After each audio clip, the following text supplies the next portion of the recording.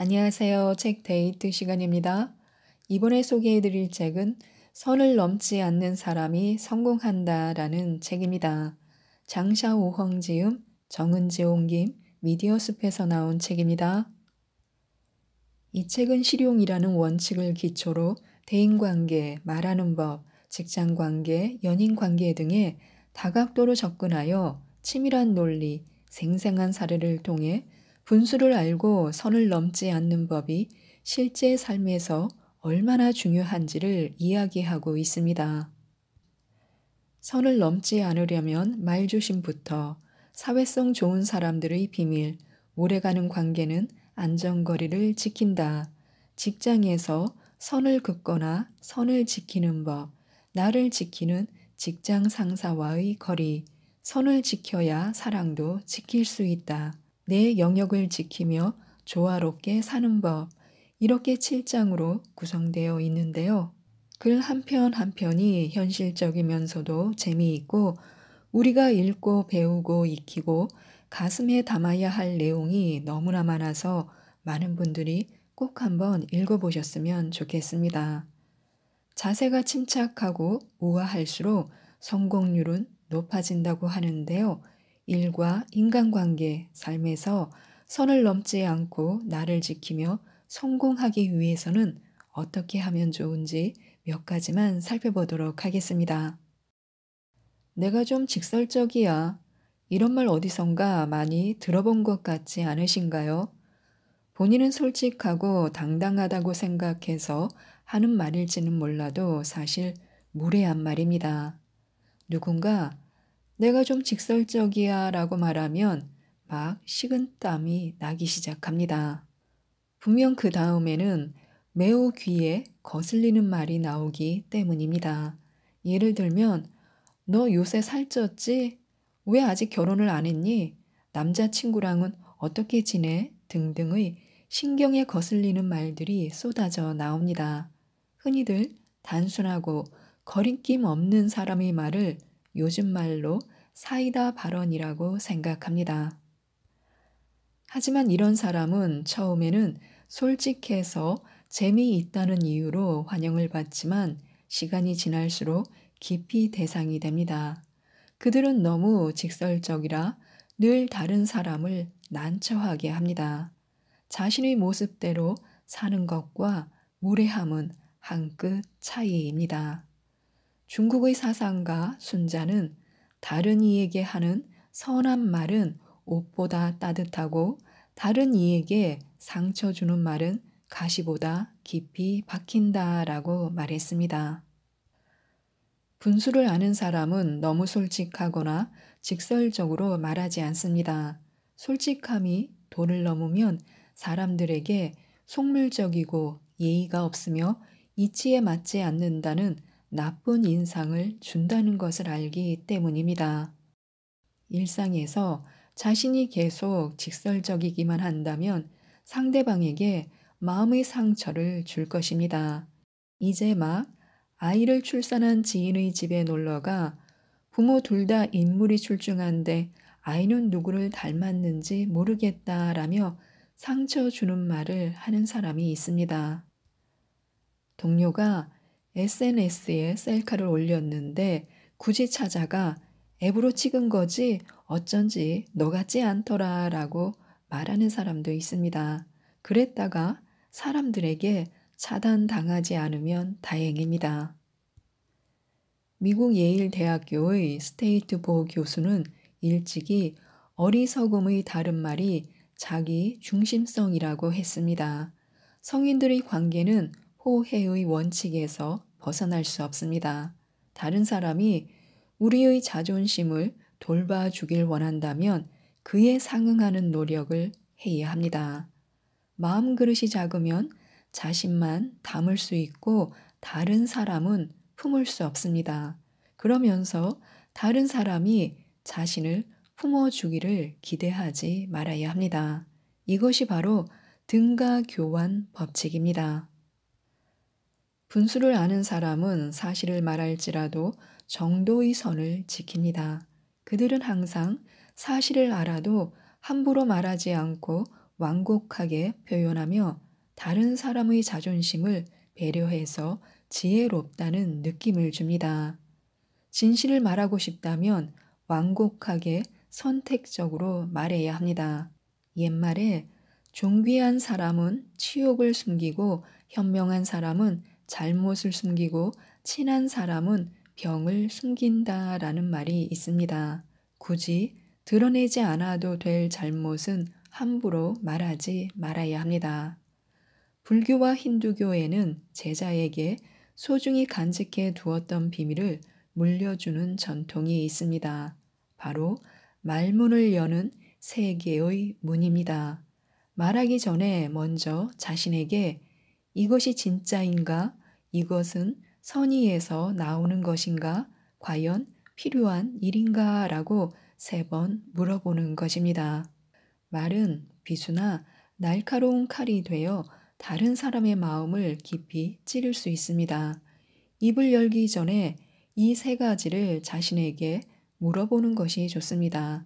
그러면 적어도 뭔가 어긋난다는 것을 알아차렸을 때 즉시 자신의 입을 다물 수 있을 것입니다. 독단적인 말은 상처를 남깁니다. 지금 집을 사고 싶다고? 난 분명 경고했다. 지금 집을 사는 사람은 모두 얼빠진 놈이라고. 생일날 남자친구가 겨우 팔찌 하나만 사줬다고? 너무 인색하네. 분명 인성에 문제가 있을 거야. 대학원을 준비하세요? 이렇게 노는데 정신이 팔려 있으면 분명 시험에서 떨어질 테니까 일찍 취업해서 돈 버는 것이 나을 거예요. 우리 삶에는 융통성 없이 문제를 바라보고 과격하게 주장하거나 독단적인 사람이 비일비재합니다. 이들은 입만 열면 당연히, 분명히, 반드시라는 단어를 써가며 자신의 견해만이 옳다고 주장합니다. 마치 자신은 모르는 게 없고 못하는 것이 없는 것처럼 행동합니다. 사실 이런 사람은 언제나 기세 등등하지만 따져보면 그다지 실력이 출중하진 않습니다. 이렇게 자신의 분수를 알지 못한 채 자신의 우월감만 뽐내다 보면 반감과 혐오만 초래할 뿐입니다.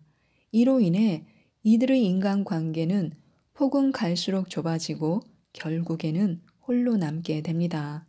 대화하는 과정에서 독단적으로 말하는 것은 일종의 독약과 같습니다. 절대로 의견이 분분하고 정답이 없는 문제를 두고 왈가왈부하거나 상대에게 나의 뜻대로 행동해 주기를 요구하지 말아야 합니다. 그렇지 않으면 다른 사람에게 남을 조정하려 하는 매몰차고 까칠한 사람이라는 인상을 남기게 됩니다. 미국의 저명한 정치가인 프랭클린은 젊었을 때 공공장소에서 장황하게 자신의 주장을 늘어놓으며 큰 소리치기를 좋아했습니다. 다른 사람과 답이 없는 문제를 논할 때는 항상 상대의 관점은 하나도 옳은 것이 없다고 폄하했습니다. 그리고 자신의 입장이야말로 진리와 같이 굳건한 것이라고 여겼습니다. 그의 말은 사람들에게 상처를 주었고 갈수록 그의 담론을 듣고 싶어 하는 사람이 줄어들었습니다. 어느 날 프랭클린은 모든 사람이 자신을 피한다는 것을 깨달았습니다. 그가 입을 열 때면 사람들은 모두 침묵하며 고개를 돌려 하던 일을 했고 그의 말에 아무 반응이 없었습니다. 그렇게 그는 자신이 말하는 방식에 문제가 있다는 것을 깨달았습니다. 그 이후로 프랭클린은 자신의 의견을 전부 의문과 의논의 어조로 바꾸었습니다. 그의 어투는 더 이상 날카롭지 않았습니다. 그리고 그는 다시는 모두에게 반드시 그의 관점을 받아들이라고 강요하지 않았습니다. 이후로 사람들은 차분하게 그의 말을 받아들일 수 있게 되었습니다. 말투를 바꿈으로써 프랭클린은 정치계에서 승승장구할 수 있었습니다. 이 밖에도 일단 상대방의 잘못을 발견하면 바로 어떻게 이런 어처구니 없는 실수를 하니 정상인이라면 절대 이런 실수는 할 수 없을 거야 라고 말하는 것은 상대방의 자존심을 다치게 할 뿐입니다. 분수를 알면 알수록 아는 것이 많을수록 더욱 말을 조심하게 됩니다. 배운 것이 없는데 아는 채 하는 사람은 말을 더 독단적으로 합니다. 누군가의 인품을 마음대로 판단하는 것은 어리석은 짓입니다. 발전 가능성이 없다. 성실한 사람은 절대 아닐 거야. 미래에 분명 성공할 거야 등 분수를 아는 사람은 이렇게 단순하고 거친 말로 한 사람을 긍정하거나 부정하는 것을 비합니다. 섣부른 판단은 결국 자신의 뺨을 때릴 수 있기 때문입니다. 대화를 할 때는 이런 말을 많이 사용하는 것이 좋습니다.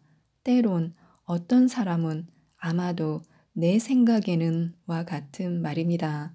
특히 일의 진상이 밝혀지지 않았거나 문제가 광범위하게 얽혀 있다면 절대 도를 넘는 말을 하지 말아야 합니다. 다른 사람에게 의견을 제시하거나 평가할 때도 최대한 부드럽고 함축적이며 겸손하고 절제된 표현을 사용해야 합니다. 호의가 계속되면 권리인 줄 압니다. 속상한 일이 생길 때마다 우리는 속으로 참자, 사실 별것도 아닌 일이야. 저 사람도 힘들 텐데 그냥 한 번만 눈 감아주자. 따질수록 귀찮아지니까 한 발짝 물러나 있자라고 생각합니다. 부당한 요구가 들어와도 인내심을 발휘하며 억지로 끙끙대며 들어줍니다. 하지만 그런다고 감사나 존중은커녕 오히려 그들에게 원칙도 없는 만만한 사람으로 인식되기 일쑤입니다. 쌀 한 말은 은인을 기르고 쌀 한 섬은 원수를 기른다 라는 말이 있습니다. 다른 사람의 고의적인 괴롭힘 앞에서 만약 우리가 원칙이나 마지노선도 없이 상대방의 요구를 들어준다면 그저 갈수록 상대방의 배만 키워갈 뿐입니다. 어쩌면 상대가 적당한 때에 부탁을 멈출 것으로 생각할지 모릅니다. 그래서 매번 자신을 희생하며 상대의 요구를 들어줍니다.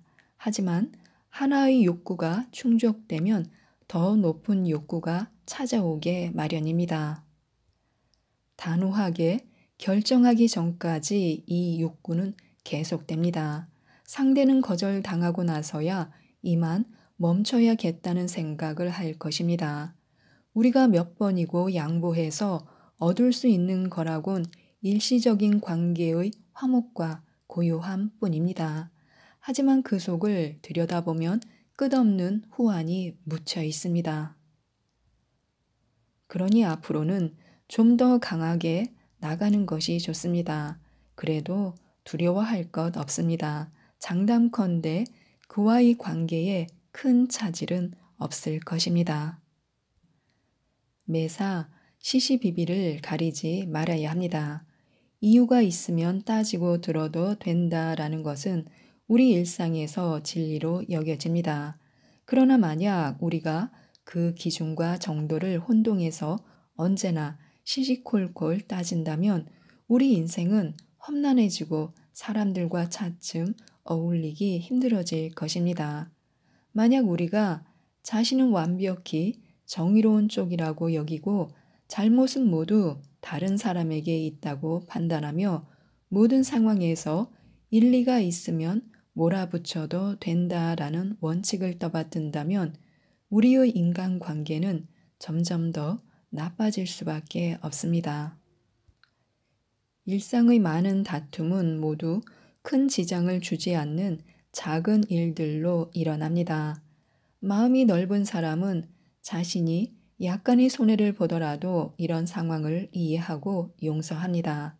그러나 일리가 있으면 몰아붙여도 된다라고 생각하는 사람들은 소란을 피워 자신의 주장을 내세우며 다툼에서 이겼다고 생각합니다.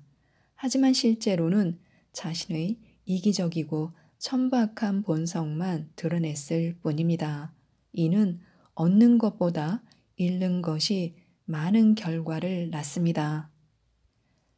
내 말이 일리가 있다고 생각되는 상황에서 상대방을 위해 한 걸음 물러서는 것은 사실 나의 미래를 위해 길을 터주는 것과 같습니다. 대인 관계에서 분수를 아는 사람들은 만사에 한 가닥의 여지를 남겨두면 나중에 웃으며 다시 볼 수 있다라는 이치를 알고 있습니다. 원칙에 영향을 미치지 않고 옳고 그름을 굳이 따질 필요가 없는 일에 대해서 그들은 항상 웃어 넘겨 왔습니다. 힐러리가 자서전을 출판한 후 한 유명한 토크쇼에 나갔습니다. 진행자가 자서전을 비웃으며 이렇게 말했습니다. 이 책은 잘 팔릴 리가 없습니다. 만약 이 책이 100만 부가 팔린다면 저는 신발을 먹겠습니다. 몇주 후에 비보가 전해왔습니다. 힐러리의 자서전이 예상보다 잘 팔려 곧 밀리언셀러가 될 것이라는 소식이었습니다. 사람들은 인터넷에서 이 일을 끊임없이 언급하며 힐러리가 그 유명한 토크쇼 진행자를 비난하고 망신 주기를 기다렸습니다. 나중에 힐러리가 이 사회자의 프로그램에 다시 출연했을 때 그녀는 사회자에게 훌륭한 신발을 선물했습니다. 사회자는 자신의 공약대로 그 신발을 먹어야 했고 맛이 아주 좋다며 웃어 제꼈습니다. 알고 보니 힐러리가 선물한 신발은 그녀가 정성껏 주문 제작한 신발 모양의 케이크였습니다. 그녀는 이런 방식으로 이 사회자의 불순한 언행을 응징하였고 결국 그의 진심 어린 사과를 받아낼 수 있었습니다. 이후 이 사회자는 힐러리의 열렬한 팬이 되었습니다. 양보와 너그러움이 사라진 오늘날 대인 관계에서 자신의 생각만 옳다고 주장하면 쌍방 모두가 손해를 보는 결과를 초래합니다. 그러니 자신의 기준을 정한 후 놓아야 할 때는 놓아주고 용서할 수 있을 때는 용서해야 합니다. 누군가가 나의 뒷담화를 하거나 피해를 주었을 때 그 사람이 진심으로 사과한다면 태연히 받아들이고 상대방을 놓아주어도 좋습니다. 만약 비난과 비판을 받거나 누명을 쓴다면 급히 변명하고 날카롭게 맞서거나 마음을 졸일 필요가 없습니다. 그것이 단지 다른 사람의 가벼운 불찰이라면 모든 것은 시간에 맡기면 됩니다. 만약 우리가 불공평한 일을 당했을 때 바로 발끈해서 이를 해결하려 한다면 화가 난 상태로 해명할수록 더 의심받을 수 있고 상황도 더욱 나빠질 수 있습니다. 사소한 원한에도 눈에는 눈, 이에는 이로 갚아주려 한다면 우리는 그저 상대방과 같은 수준이 될 뿐입니다. 자기 생각을 끝까지 잡고 놓지 않는 사람은 다른 사람에게 마음이 좁다는 나쁜 인상을 남기고 관계는 더욱 멀어질 것입니다. 하지만 감성 지수가 높은 사람은 그런 상황에서 오히려 침착함을 유지하고 마음을 넓게 가지며 침묵으로 혼란스러운 소문에 대처할 것입니다. 모든 것이 밝혀질 때 그들은 사람들의 박수 갈채와 찬탄을 받을 것입니다. 인생에서 누구도 자신이 반드시 다른 사람과 갈등이나 다툼을 겪지 않을 것이라 보장할 수 없습니다. 다만 우리는 무슨 일을 하든지 분수를 잘 파악해야 하고 다른 사람이 함부로 짓밟지 못할 선을 제대로 세워야 하며 동시에 사람을 포용할 수 있는 아량도 갖춰야 합니다. 모든 일에 충분한 여지를 남겨두는 것이야말로 큰 지혜입니다. 지금까지 이 책에 대해서 말씀드렸는데요. 남들보다 더 쉽게 성공하는 사람들의 공통점은 선을 넘지 않고 분수를 안다는 것입니다. 사람 사이에 안전거리를 지킬수록 인생이 행복해진다고 하는데요. 이 책 선을 넘지 않는 사람이 성공한다를 꼭 한번 읽어보시고 많은 도움을 받으셔서 모든 분들이 행복하셨으면 좋겠습니다. 이상 책데이트였습니다. 감사합니다.